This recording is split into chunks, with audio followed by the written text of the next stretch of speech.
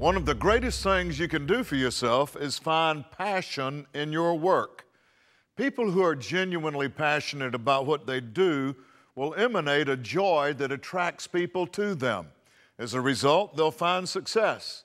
If you're currently not passionate about what you do, take a step back and reevaluate. Find what you are passionate about within your job, even if it's something small, and focus on that. Is it the people your work reaches? Maybe it's your coworkers or the computer work. Focus on that. If you still can't think of anything, consider these words by Albert Einstein I have no special talents. I am only passionately curious. I'm Mac Hammond, and this is a Winner's Minute.